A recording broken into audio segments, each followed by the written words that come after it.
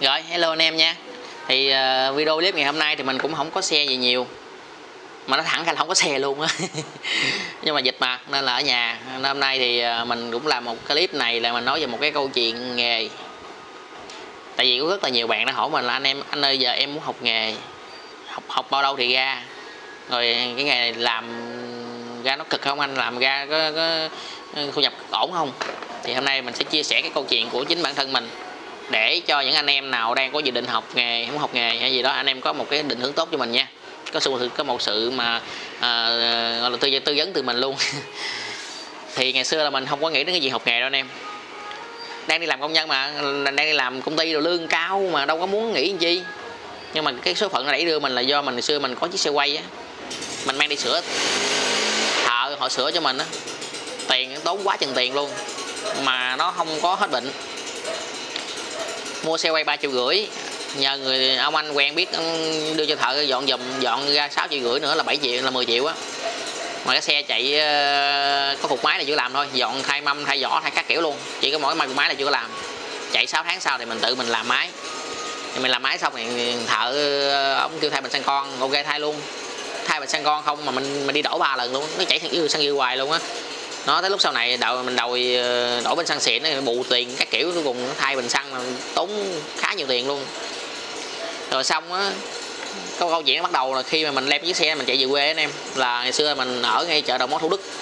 Thì từ thủ đức đó mình đi về cần thơ đó, anh em biết không? Đi 4 tới 4 giờ chiều mà chưa tới cần thơ. Chạy 4 năm cây số đó 4 năm cây số nó tắt máy một lần. Mà mỗi lần tắt máy á này anh em dắt đoạn ngắn á thì dắt mà gặp tiệm á thì về lũi vô cái, cái người ta thay bất kỳ cái gì vô chân đi chăng nữa là đạp cái nổ. Nha đạp nổ thì trả tiền. Còn chạy tiếp nữa chạy năm sáu cây số xong chết máy nữa. Không là dạo lẽ quanh là chỗ cũ. Thôi lũi vô chỗ mới đi. Mình khai mình khai bệnh cho người ta gian gì đó. Rồi anh một người thay ờ, uh, IC, người thay uh, bu bên sườn, người thay chạy bogi, người thay bogi, người thay cuộn lửa, người thay vô lăng, người xuất bịch xăng con luôn đến mức độ đó anh em tôi dắt bộ tôi mệt xỉu luôn tôi gán tôi nói hồi giờ mình lết đi gán về tới nhà đi còn ngày mai tính sau về tới nhà anh em biết biết biết là mấy giờ không? Là tới 6 giờ chiều luôn á. Rồi xong ờ, sáng hôm sau dắt cái đi chợ cái dắt là ờ, trên chợ cũng chết máy cái ông chú trên chợ ông mở ra cái ông thấy ờ, cái nào cũng mới mới thay trơn cái còn mỗi cục kích á cục kích ở trên bên nằm trong cái cái, cái hoa lăng á mâm lửa là chưa có được chưa được thay còn nó cũ xì rồi ông mới thay cho mình cái cục đó. Là thay xong bắt đầu là hết bệnh. Chạy phà phà luôn, không chết máy nữa. Đó anh em hả? Lên sẽ nó thiệt, thề với lòng luôn, lên sài gòn cái này là tôi không cho ông không có tại vì sao là không có cho ông thợ nào đục vô xe tôi hết á. Là đi học nghề luôn. Viết lên xin nghỉ công ty, đi học nghề liền. Mình học nghề, ngày xưa cái suy nghĩ của mình là mình xác định trước là học để biết về xe, để sửa cái xe của mình đi. Và cái thứ hai là học để sau này mình có cái nghề để mà làm công ty không thể nào anh em làm trường tồn được. Mình biết mình có cái nghề, mình làm dở thì mình sẽ đủ sống thôi. Đủ sống, vẫn nuôi sống, nuôi, vẫn nuôi sống nuôi sống bản thân được. Chứ còn anh em làm công ty mà anh em làm dở là nó là nó đủ anh em. Nha. Đó, anh em nên nhớ rằng vậy còn uh, mình làm giỏi thì mình được lương cao. Còn trong cái nghề này cũng vậy mình làm mà tay nghề mình cứng mình làm giỏi mình làm ok thì tự, tự động doanh thu mình nó sẽ tăng lên. Nhưng mà đừng bao giờ đừng có anh em đừng có mang cái suy nghĩ là học nghề ra 2 năm 3 năm học ra là sẽ làm mở mặt bằng ra là một tháng thì kiếm vô vài chục triệu là không hề có chuyện đó nha. Đó mà nói trước cho anh em vậy đó. Học nghề là ngày xưa mình học là trong trường tối học trong trường ban ngày mình học phụ tiệm người ta. Mà ngày xưa xin xin cho phụ học sửa xe mà ngang trúng ngay cái tiệm sửa xe đó anh em nói anh em nghe hả? Ngày xưa cái khu đó có mỗi mỗi cái máy có, có một vài cái máy mở vỏ mà cứ, nên là mà mở cái máy mở vỏ tay ga mình á. Nên nó là mấy xe xe du lịch nè thậm chí xe xe tải nè xe tải 5 tấn luôn 3 tấn luôn á. Mang đến đây cho ông giá vỏ. Xe tải giá ruột. Tại vì chỗ mình có đội có súng bắn ra luôn bắn ra rồi uh, đội tại vì ông ở ông ở cặp cái đường lộ tên là 43 mà đầu là giá anh em biết là cầm cái búa để mà mình phải học luôn á mình học sửa xe máy nhưng mà mình mình đâu học xe đó đâu nhưng mà buộc phải làm luôn á. Mình phải đập cho nó phập cái, cái vỏ với cái niền xuống rồi cạy dùng hai cái cái cạ gì dài cả mét vậy nè rồi xeo cái, cái, cái niền cái vành lên rồi lấy cái vỏ ra ngoài. U làm cực nặng cần chết luôn anh em mà tôi vẫn tôi vẫn gán tôi làm anh em. Học sửa xe máy mà vô toàn giá vỏ giá tay giá tay ga vậy lòng ờ, giá tay ga cũng ít nữa giá vũ lực với mà xe gác với mà xe tải là nhiều luôn á anh em. Thì tôi cũng ghé tôi học sau học thời gian thì uh, là học hết cái mình học đó, thì tại vì mình mình muốn học nhanh mà. Thì mình tìm cái chỗ học mới thì cái chỗ, tìm mình tìm cái chỗ học chuyên về FI điện FI mình học. Thì học mình học xong thời gian thì cho anh em biết là thì khi mà mình làm nghề anh em cái chuyện mà khi mình ra nghề á nó khó, nó khó chăm bề hết anh em. Anh em phải có vốn nhiều. Anh em phải có vốn nhiều. Và anh em phải biết rằng khi mình mở ra là chỉ cần làm một tháng nó đủ đóng tiền nhà với tiền ăn là vui. Chứ còn nếu anh em mà xác định là học ra mà làm mở một bằng anh làm tháng không được, mở ra học thì đóng đồ nghề mấy chục triệu. Đồ nghề xin xịn thì cả trăm triệu mà cuối cùng lại không có vốn. Hết vốn á. Cuối cùng là làm không có tiền lời bao nhiêu hết đó anh em sẽ chán. Cho nên, anh em làm ra nghề á là anh em thủ phải thủ. Như anh, anh anh em có anh em muốn mở cái tiệm ra là cái vốn là 50 triệu thì anh em phải cho có trong tay trăm triệu. Hơn trăm triệu. Nha. Và làm á là một tháng mà anh em phải làm sao làm mình một tháng mà anh em doanh thu nó có tụt có giảm gì anh em cũng phải gán gồng một thời gian đầu anh em phải lấy sự sự uy tín bất cỡ 6 tháng. 6 tháng từ lỗ đến bị vốn. Rồi sau 6 tháng đó mới từ bị vốn mới có dư. Rồi từ sau này từ cái số dư nó mới có dư nhiều. Các bạn hỏi mình là anh, anh em học em học bao lâu qua nghề? Anh học ngày xưa anh học bao lâu qua nghề? Đừng có hỏi mình câu đó luôn mà thật sự mà nói bạn nghe tôi học thành tới bây giờ bây giờ mình cũng không nhớ chính xác là mình học. Tại vì mình học tôi học cũng nhiều nơi. Hai ba nơi lần nên là tôi cũng phải là một chỗ này năm năm hơn hơn năm. Rồi có những người ta học ba bốn năm cái ra nghề nhanh hay không là do ở chính tư duy của các bạn. Các bạn học nghề là các bạn vô là các bạn phải xong xôn xáo các bạn phải tìm có những bạn á thích theo gọi là thời vụ á. Đú gọi giống như gọi là đú trend á. Giờ đừng bán giờ xe đang hot nè mới làm xe độ ờ, sổ xe độ gì bô xăng lửa rồi ờ, số hai dinh dinh rồi là, là đang thịnh mà đi học cái đó. Vô học các bạn cầm cái xe chạy các bạn sướng lắm mê lắm. Nhưng mà các bạn vô học á bị xe vợt á tháo ga bắt tháo ga nó vô nó ga nó vô nó ga vô nó hành á. Rồi chán hết. Thiệt tôi nói này ra là những anh anh em thợ sẽ biết nè. Gặp rất là nhiều thằng lính luôn. Thời gian đầu vô tôi, tư vấn. Học nghề mình làm mình tôi làm việc tâm lý chứ. Cực lắm nghe em khổ nha dạ em đam mê lắm. Cái nào em làm được hết á. Cuối cùng vô cái xe mà vợt xíu là bỏ chạy hết. Bỏ chạy hết luôn bóc của chạy lấy người luôn á. Ngày xưa các bạn học nghề các bạn đóng tiền. Còn bây giờ thì nói bạn đang đang đang nhiều bạn nói thì những chỗ người ta nhận chỉ cần nhận cái người vô là để gì để có người làm nghề có người để làm cho cho người ta. Còn cái chuyện mà các bạn học được nghề được không là do chuyện ở các bạn. Chứ chứ chứ, chứ, chứ không phải là các bạn vô là người ta chỉ hết biết kiếp cho các bạn liền đâu các bạn phải làm vài năm, một, hai, ba năm gì đó thì các bạn các bạn nhiệt tình, đam mê thì người ta mới chỉ hết cho các bạn còn riêng chỗ mình, ngày xưa mình nhận mình nhận những các bạn mà học việc học nghề vô tôi chỉ hết, tôi chỉ lẹ, tôi chỉ cho các bạn biết nhanh, gọn lẹ luôn để chi, bạn biết hết này, đặng các bạn ra làm cho tôi liền luôn, ra làm được, tôi trả lương cho các bạn luôn ấy. học việc có lương luôn, các bạn làm thợ được, trả lương cao cho các bạn luôn tại vì tôi không đó coi bạn là người học việc nữa mà tôi coi bạn là một người thợ, một là các bạn sẽ được trả lương để các bạn làm cho tôi có doanh thu.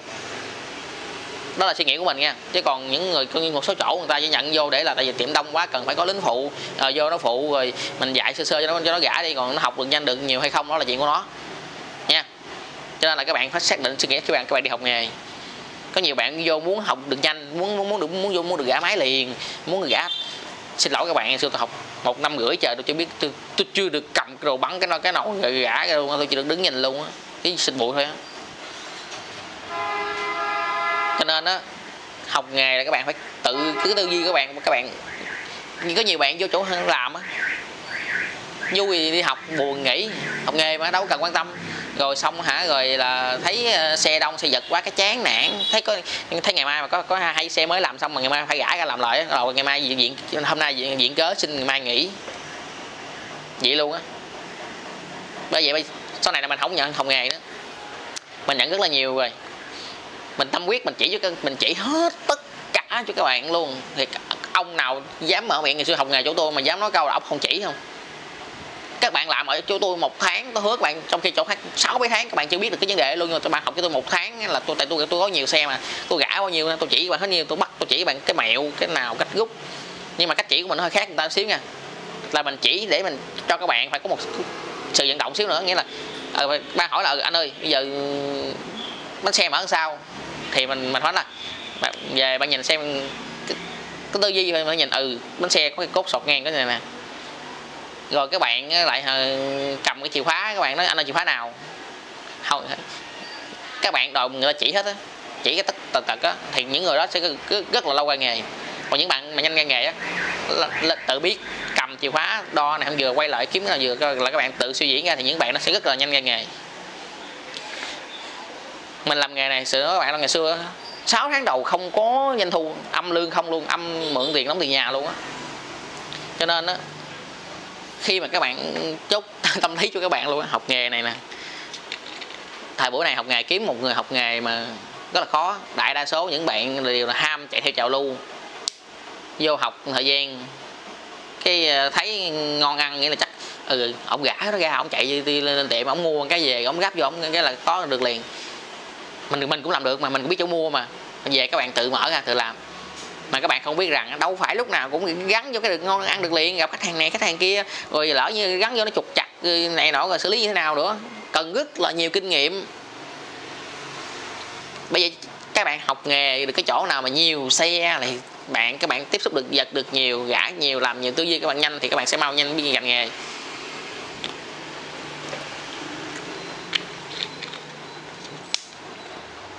Những bạn mà ngày xưa học nghề của mình, không có ông bạn nào hồi đó giờ không có ông nào mà không lương hết thậm chí là đến người em ruột của mình ở trong nhà của mình luôn là đều có lương hết luôn.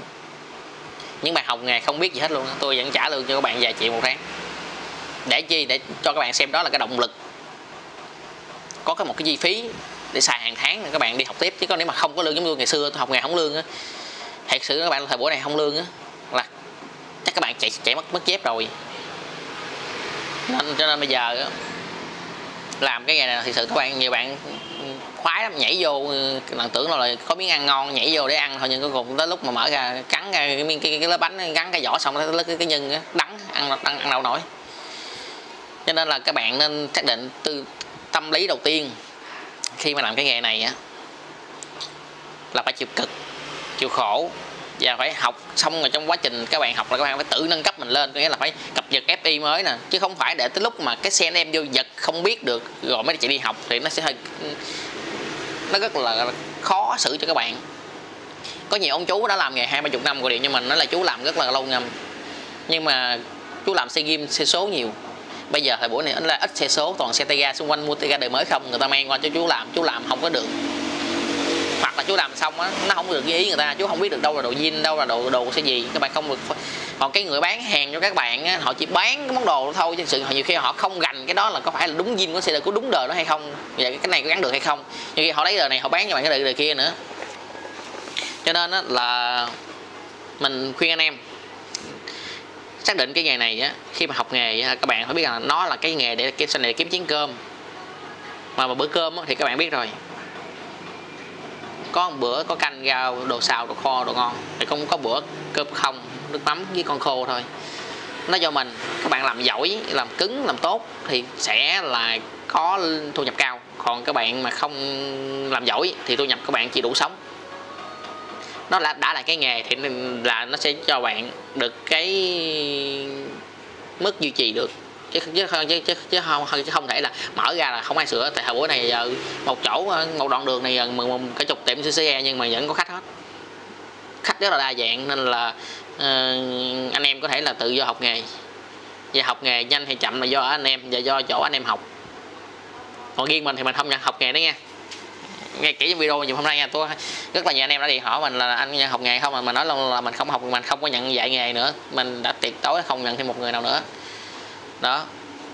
Tại vì mình dạy rất là nhiều người mà không có bạn nào mà tâm quyết với nghề mà gọi là mình tin tưởng gọi là ừ bạn nó ra nghề được là mình vui thật sự. Nó câu những bạn nào mà học của mình mà biết gành mà ra nghề được á mình rất là vui. Nhưng mà có cái những bạn nó kiếm nó không ra đâu.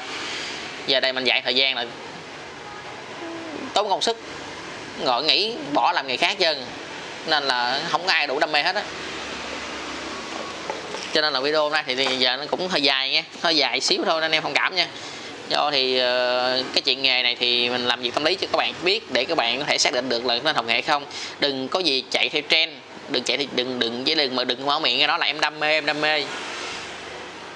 Mình gặp rất là nhiều rồi làm một thời gian đây rồi biết cái nghề nào cũng có khó hết mới vô nhiều bạn trời ơi em thấy có gì khó anh? Rồi dễ chết gã cái gã máy gáp dễ chết luôn. Má tới lúc nó hành lên cái rồi nó lúc đó là gối bực chán sợ bỏ. Nó vậy đó. Đó thì thôi video hôm nay thì cũng dài hôm nay cũng dài rồi đó. Thì mình đã chia sẻ cho anh tất cả gì rồi đó. Đó là những câu chuyện của mình. Cái nghề của mình á mình nó đi từ khó mình đi lên. Chứ bởi vậy á mình làm là mình đầu tư anh em thấy không? Mình đầu tư hết mình, mình có tiền là mình đầu tư đầu nghề của mình là mình đầu tư đầu tư cho đủ hết luôn. Đầu tư, cực kỳ đầu tư luôn. Đầu nghề là mình đầu mình đầu tư cho nó phải đủ. Chứ anh em làm nghề, một số anh em thợ làm nghề không nhớ không nhớ không dám đầu tư đầu nghề. Anh em nói, trời đầu tư biết nào biết nào lấy vốn. Dạ thưa anh, nếu mà làm nghề không không có cái đó làm sao mình duy trì? Chỉ cần mình duy trì ở trong nghề được là mình sẽ lấy vốn được. Có nhiều anh em làm tháng lương thu nhập khá cao luôn, ba bốn triệu là gì bình thường luôn á. Mà đồ nghề không dám mua thậm chí là phụ tùng không không dám lưu trong nhà luôn nữa. Mua một món đồ không ừ, có hai, ba chục ngàn không đúng cái này bị đổi nữa. Thì nhiều khi gặp trường hợp đó mình cũng lắc đầu. Anh em làm nghề, anh em làm lấy tiền lấy tiền khách hàng vài chục ngàn, trăm ngàn triệu và tiền triệu được. Mà anh em không dám lưu giữ trong nhà mình một món đồ gì đó để mà sau này có để thử. Cho nên nói ra là anh em thợ đừng có buồn. Rất là nhiều anh rất là nhiều anh em thợ đã điện cho mình rồi. Anh em hỏi những câu mà mình tưởng đâu là người đi xe hỏi không, chứ phải là thợ hỏi nữa. Bây giờ anh em học nghề không học để ra thay đồ không à vô học thời gian, biết gãi, biết gáp. Rồi về, mở tiệm ra, mua đồ, gáp, thay lấy tiền người ta. Lúc xe bị hành mang lại bí. Đầy luôn á thật sự có nó mang nó đầy luôn á. Cho nên là học nghề thì phải chuẩn bị chuẩn bị tâm lý, chứ đừng có nghĩ là học nghề làm giàu. Các bạn phải nghĩ đủ ăn đi, nghĩ, phải nghĩ đủ ăn trước thì nghĩ làm giàu. Tại vì các bạn các bạn cứ trông mong nhờ chuyện làm giàu mà tới lúc mình vô làm không giàu được á các bạn sẽ bị nản liền nha. À, học đủ ăn đi đủ ăn khi nào đủ ăn rồi á nó có một nó có một nền tảng rồi thì các bạn mới mới mới phóng được. Còn mới vô các bạn chưa có cái nền tảng các bạn mới bước vô đen cái các bạn trước chân gáo các bạn rồi cái rồi vào liền thì chắc chắn là không thể. Không có một cái sự thành công nào mà không có thất bại giờ giờ mà mất mát các bạn nha. Đó. Thì thôi video hôm nay cũng dài rồi. Đó, nay tóc mình cái tóc mình cũng khá là dài luôn nè bít lỗ tay luôn nè. Mới đặt cái tông đơ nè đó cái tông đơ này là để ngày mai đưa cho bà xã mình cắt tóc. Hy vọng là à, nếu cắt đẹp thì à, video sau anh em sẽ thấy mình có một mái tóc ổn. Còn nếu mà mình cắt tóc mà thất bại thì cái tông đơ này nó sẽ video sau thì anh em sẽ thấy được à, gì nè chắc thấy thấy, thấy mình chắc đi video sau chắc đội nón luôn chứ không dám uh, để cái gì luôn á. Rồi thôi chào tạm biệt anh em nha. À, cuối video thì à, chúc chúc anh em thiệt nhiều sức khỏe. Và Việt Nam chúng ta sẽ vượt thắng cái trận đại dịch này để trở để trở lại cuộc sống bình thường. Rồi, chào tạm biệt anh em.